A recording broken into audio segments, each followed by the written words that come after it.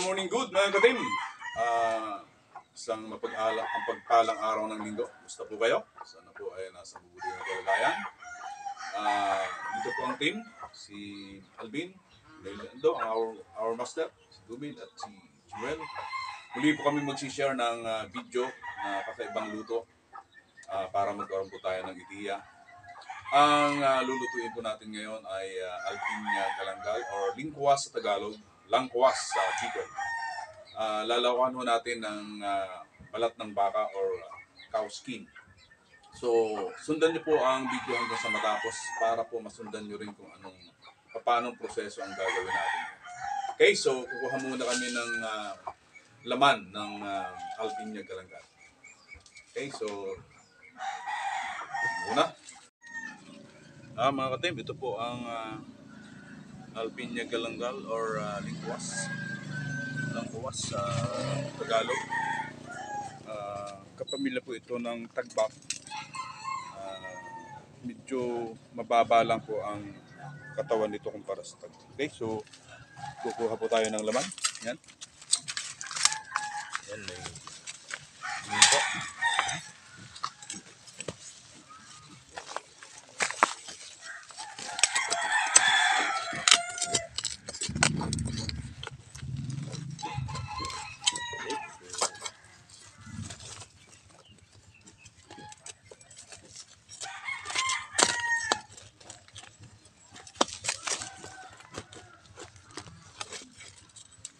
Yan, ang ah, katawan po nito ay pwede ring ah, lutuin katulad ng tagbak. Tagbak, scientific name ay Alpinia elegans. Po ay Alpinia kalanggan. Yan. Yan po, ah, ito na.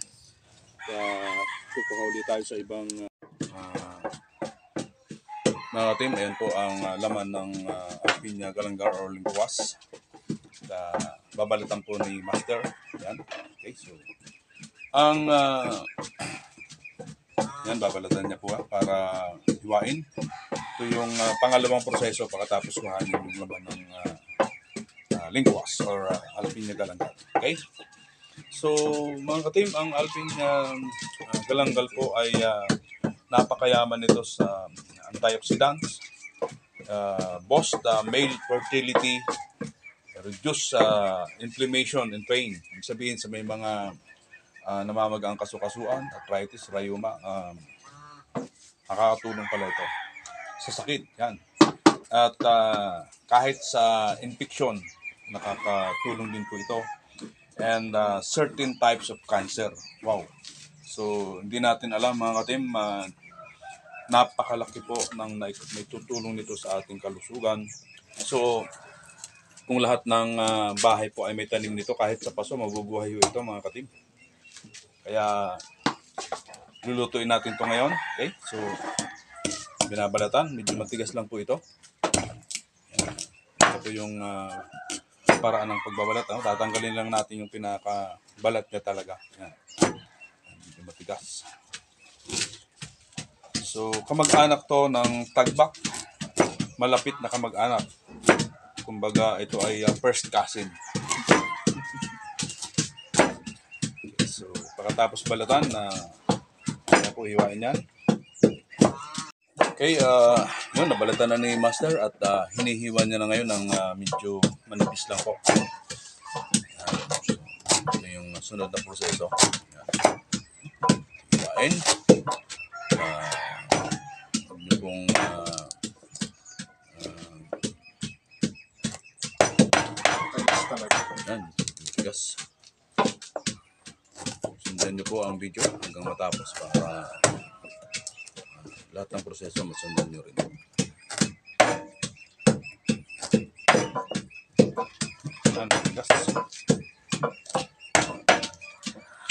So, mga team, ito na po yung uh, uh, nabalatan at nahiwa ng uh, uh, lingkuas or uh, galanggal, alpinyo galanggal. Yan. Ang susunod na proseso po nito Ayan. Ay Okay, yan. ah, kailangan pong ah, dikdikin ito. Yan, pinidikdik po. Parang uh, tambak din ang proseso. So, para wa- ah, dahil uh, anoin natin ang katas. Okay, so So mga katim, ito na po yung ah, dinikdik na laman ng uh, lingkuwas or langkuwas or alpinian kalanggan. Yan. So mga katim, ah, ang lingkuwas po or ah, galanggal, ito po ay ah, proven and tested. Ito pong kapirasong ah, laman ng ah, galanggal, kapag meron pong uh, an-an ang isang tao, Ah, pagkatapos maligo, ikukuskus lang po ito sa may parte ng may naan ng sa may ah, parting ah, katawan na may anan ng tao. Ikukuskus lang po ito mga hanggang tatlong beses. Nawawala po ang anan. So, ibig sabihin may kapangyarihan po itong ah, makapagpagaling ng sakit sa balay. Ah, yan ang ah, isang ah, proven and tested na na benepisyo ng lingwas. Ah, ang ilalahok po natin dito sa galanggal or sa lingkuwas ay ito pong skin cow or balat ng baka. Okay.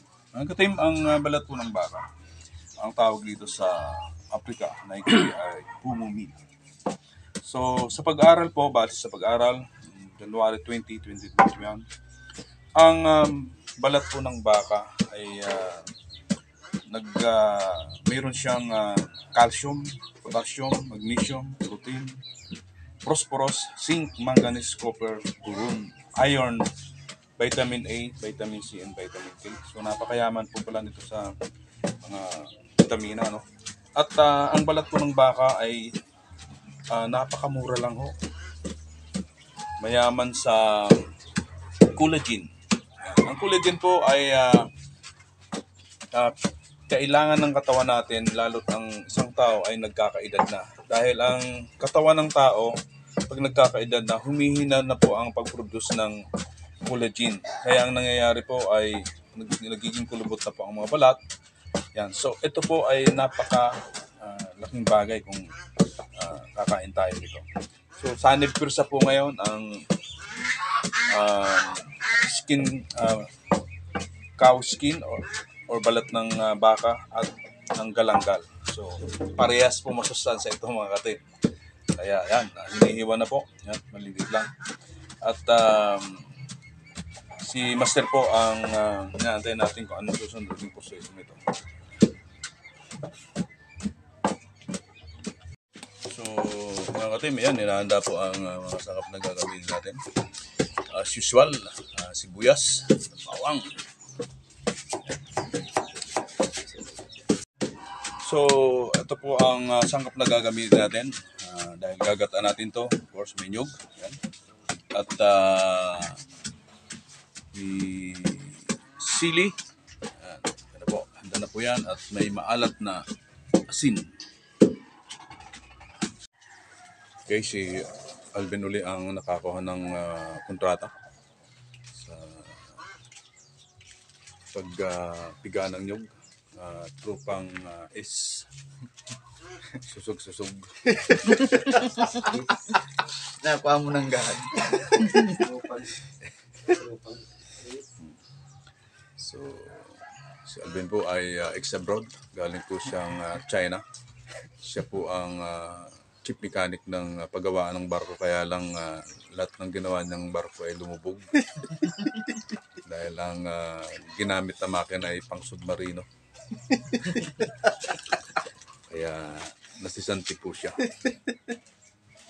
Ang ah, kanyang ah, pangalan doon sa China ay ah, Ling Lang Yu.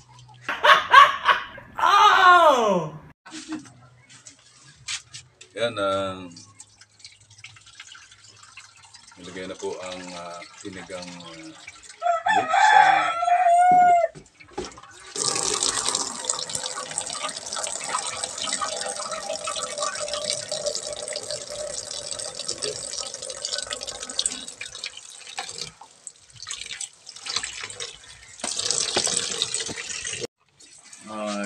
Ah, yan mga team. Ilagay na po ang mga sangkap. Bawang, sibuyas. Okay.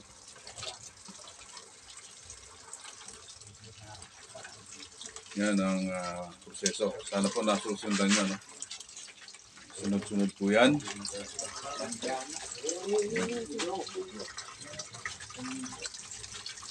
Ah, maningas po ang apoy na ginamit na ang kahoy na ginamit ngayon dahil nakababad po ito sa diesel. Isang buwan nakababad sa diesel kaya maningas. Ah, lalagyan muna ni Master ng ah, yung ah, kalahati ng ginayat nating balat ng baka ay ah, lalagyan na po. So, ako ko lang po yan.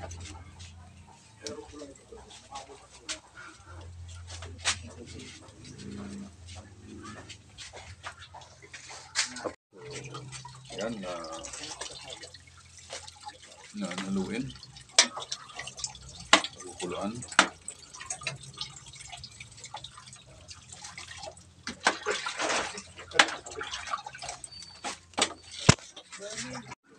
Okay, so uh, kulo na po. Ah, ilalagay na po natin ang ano, uh, lingkuwas or uh, na po. Ang dami. Nalo po ni Master. So, parang sarap ah. First time po itong uh, makakatikim ng uh, uh, putahin ni Master ngayon. Wala ulit sa libro ito. Kaya huwag niyong i-research sa Google dahil uh, hindi niyo ito makikita. Ah, ito po ang uh, pang-dessert na uh, ginawa namin.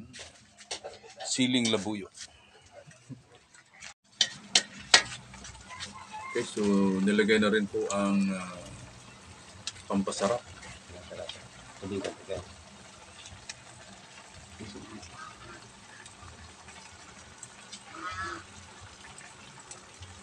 Wow.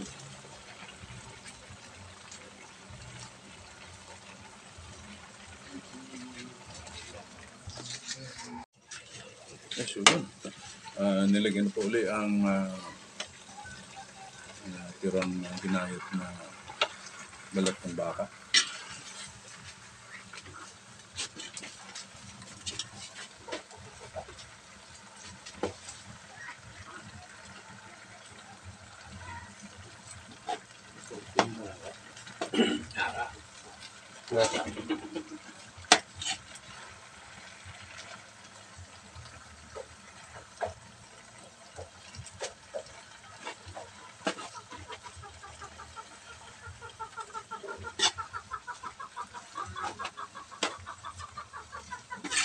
So, yan, ah, ilalagay na po ang ah, unang piga ng nyog. Yan.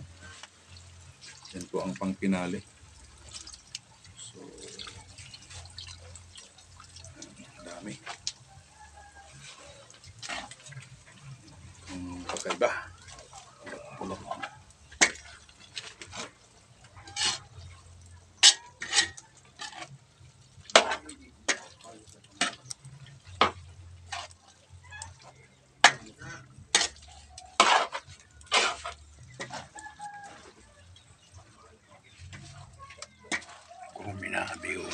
Okay, so katim, luto na po ito. At uh, ako ni Alvin.